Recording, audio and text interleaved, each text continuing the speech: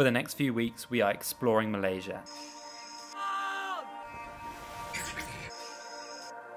And we are starting off in one of the best cities in Southeast Asia, Kuala Lumpur. Today we will show you things to do and how much you can get for your money in this city.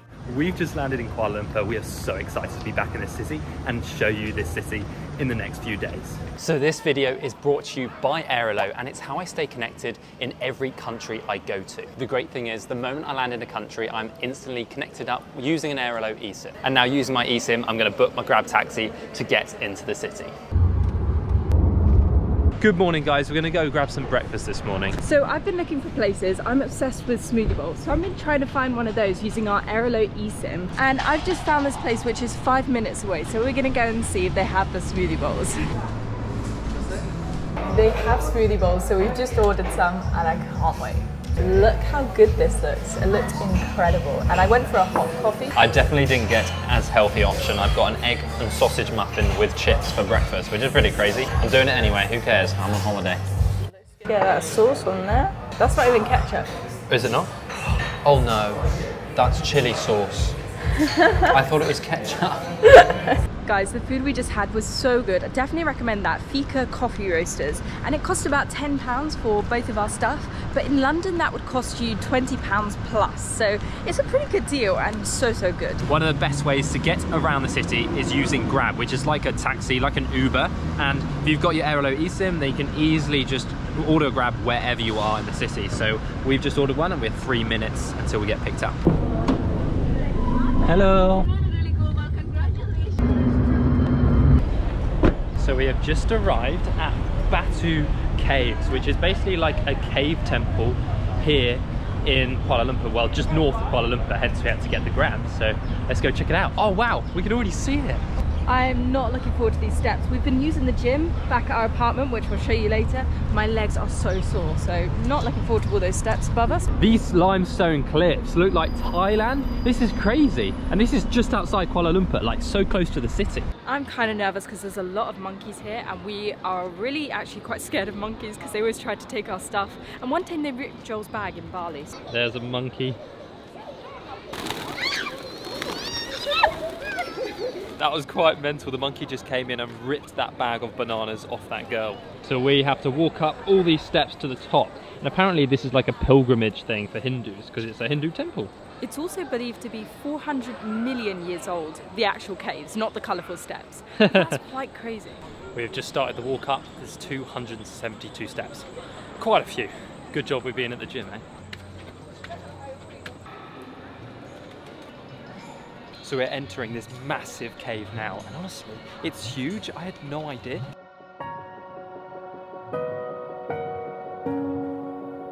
So we are right at the end of the cave now and there's basically like this little Hindu temple here. A great thing about this place is it's also free to enter but if you want to donate money you can as it is a religious place. For girls coming here it's important to be respectful of the religion obviously and I think you need to cover like your leg. I thought you had to cover your shoulders but I've seen a couple of girls with their shoulders out and you actually can rent like scarves here. I'm being attacked! I hate pigeons. Wow guys, we've come down and I'm honestly sweating so much. It is so hot. Highly recommend coming early. It opens at like 6 a.m. but get here before 9 and hopefully it won't be as crowded and it will be cooler. Instead of taking a grab taxi back, we're going to use the public transport because it's also a really cheap, affordable way to get around the city.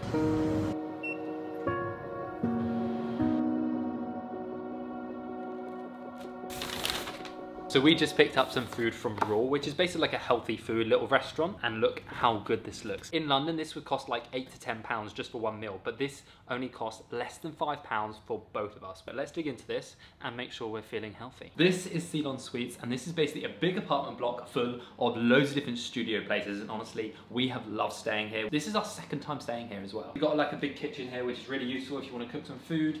I actually got drinking water, which is really good in Southeast Asia because often you have to buy water, plastic bottles, so that kind of cuts that out. And then over here, we've got an incredible bed, desk, TV, all the stuff you want for a nice, comfortable stay. And then the best thing, of course, is this view. Out here, we've got the Twin Towers. You can only see one of them at the moment, but then the big KL what's it called? I think it's the KL Tower. Anyway, it's really tall and you can can't probably see it. No, we can't see it. Let's just show you the bathroom because obviously you want to see that Lovely modern bathroom with a shower, sink, all that stuff, loads of storage if you want to stay here longer term. And a toilet. And yeah, it's got a toilet and a good bum gun. It's such incredible value and we're gonna go show you the rooftop pool because it has insane views. You're not even gonna believe it. I don't know how they used to do it, traveling without the internet.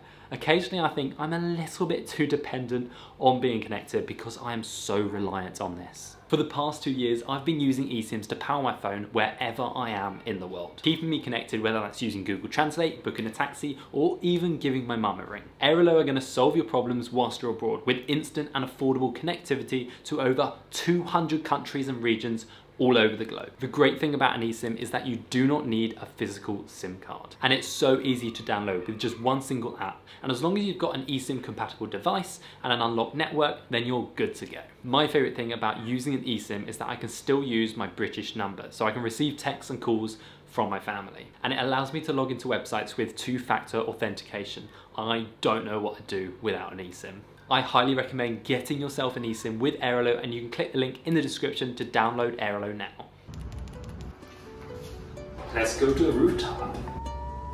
And this is it, the rooftop infinity pool with panoramic views all over the city, a great place to chill, and there's also a sky gym, all included within just the £25 a night.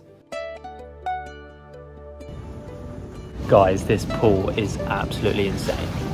Look at this view behind us. Look, Look at this. This is, is- the KL Tower. and it's like twice as tall as this building. It's actually insane. So we have freshened up and come back out and we're heading towards the center of the city to show you around here. This area just outside the city where we're staying in Bukit Ceylon does feel like quite quiet and there's so many different big skyscrapers and I think they all have pools. It's like a big apartment kind of area. Listen how peaceful it is and we're in the middle of a city.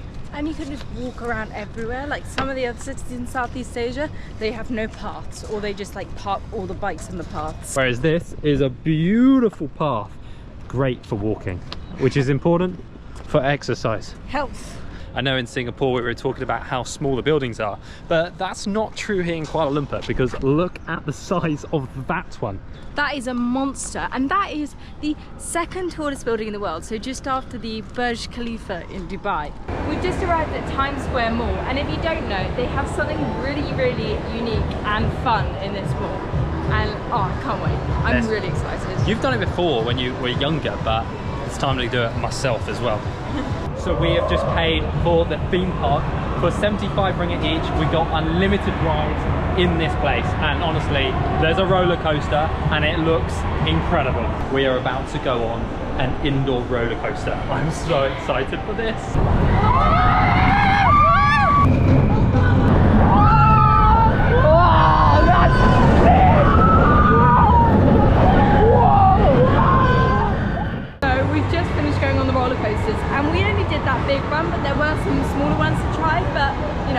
Know, we're, we're brave. We only need the big roller coasters. Yeah, it's more suited for kids, but honestly, that big roller coaster is so much fun, and we did go on it a few times. So this is the incredible value you can get. We've come to KGB, and this is uh, this is under five pounds. This is incredible because in the UK you'd be looking at over ten quid, wouldn't you? Easily. And these wedges, honestly, are so good. They're the best wedges I've ever had. So after that meal, we're going to head to one of the most famous spots in Kuala Lumpur, and you probably already know it's the Petronas Twin Towers. So let's go check them out. We're in the KLCC park, but we're just amongst some trees now, and it should be just through these trees in a minute. These are like the most iconic buildings in all of Kuala Lumpur, I would say. Look at them, and I love the way they sparkle. It's like the Eiffel Tower. To be honest, this Four Seasons hotel is pretty tall as well. I can't believe it. It's almost as tall as the Twin Towers. I guess it's a lot newer though. Personally, I think Petronas Towers are one of the most beautiful buildings like in the world, and they were the tallest buildings from 1998 to 2004, so for quite a long time. And there's two of them, which is pretty crazy. Yeah, the tallest Two. together, I think. The same height. We were just walking back to our place and we saw the KL Tower just here and we're like, why not go up it? We're gonna look up on our phone to see if we can book it right now using our Airalo eSIM to make sure we can get tickets to go up. Emilia's managed to find a ticket so we're gonna book it straight away. Awesome. then we don't have to wait in the queue. So we've just reached the entrance to the KL Tower and actually by elevation this building is taller than the Twin Towers which is pretty crazy but it's because it's on a big hill. Thank you. Okay. Thank you. So we're going up to the observation deck, right to the top.